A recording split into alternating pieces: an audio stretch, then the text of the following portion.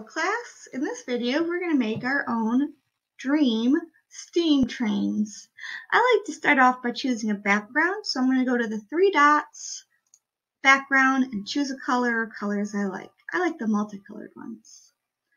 Then I'm going to build my train tracks.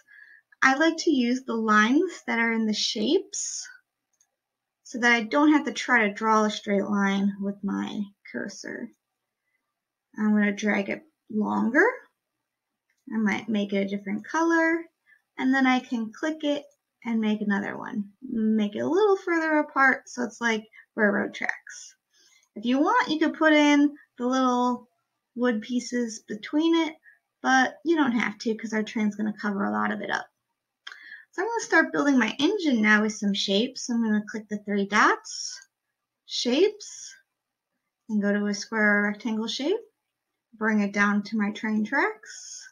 My engine I'm going to start with a long one and a tall one. And you can change the colors of these two. I'm going to duplicate so I get the same color, but this one I want tall. There we go. Then I want to make a little triangle on the front of mine. So I'm going to go and pick out triangle but I gotta turn it with the little tool right here and make it bigger so it matches. Then I want the little buffer, the thing that stops things from getting in its wheels. So I could use another triangle for that. And this one's also facing the wrong way, so I want to turn it, put it this way.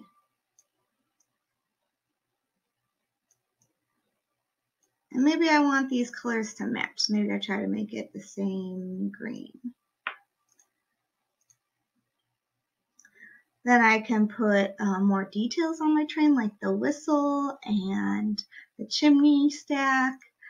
So I can hand draw those or use more shapes. So I'm going to use more shapes and turn this upside down and drag it down. Maybe some other shapes help me. That could be the top of it. Make a smaller one for the top of this one. And maybe these are purple.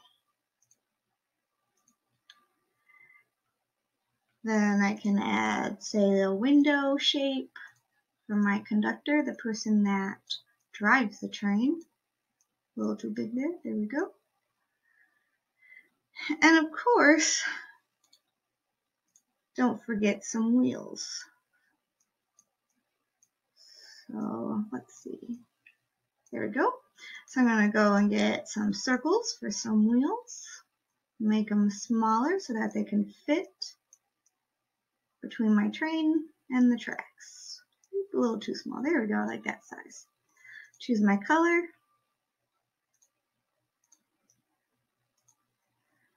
And then duplicate. That makes another one. There we go. Now I can start making a carriage. So I might use that square shape again. Maybe it's shorter or wider for the carriage. Maybe it's orange or pink, whatever color I'd like it to be. And make another window. Oh, that window doesn't fit, so I'm going to make it fit a little better. There we go. And then this needs wheels too, so copy those wheels over. And then we need a caboose. So I can either go back to shapes or just duplicate this one. And pick out a color for that.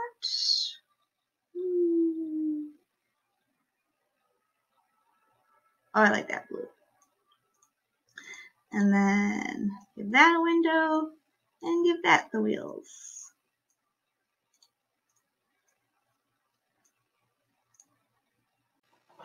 I can add more details to the wheels too by making a smaller circle inside of them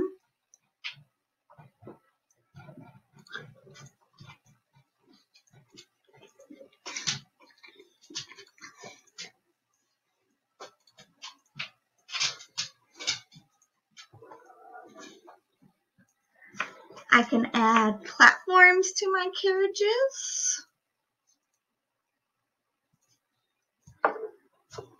So I could take shapes and resize them, make a little platform on top.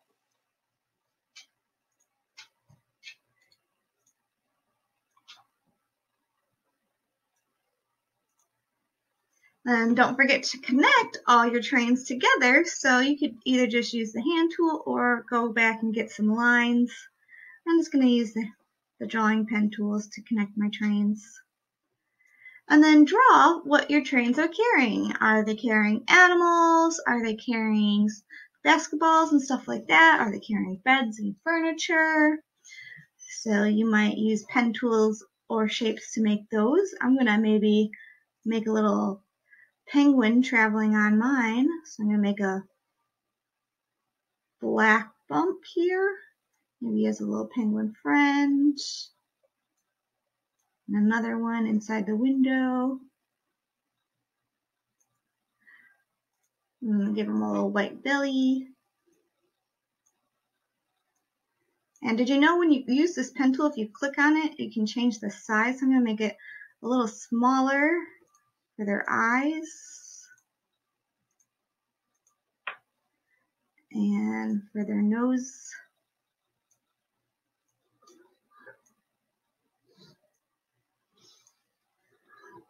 And even smaller for inside their eyes.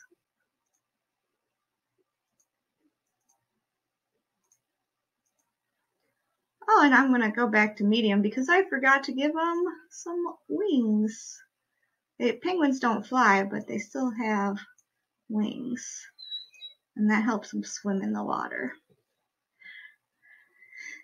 Now you can come up with whatever details you like. Some might add my own detail like some smoke coming out of my train. Maybe you want clouds or a sky up there with some birds. So you decorate this how you would like. And like I said at the beginning, those train tracks, our train was going to be blocking, but I see a little tr track right here, so I could put my little, my little bricks in of my train track if I wanted to put those details in. Alright, you guys have fun creating. I hope you enjoy this project.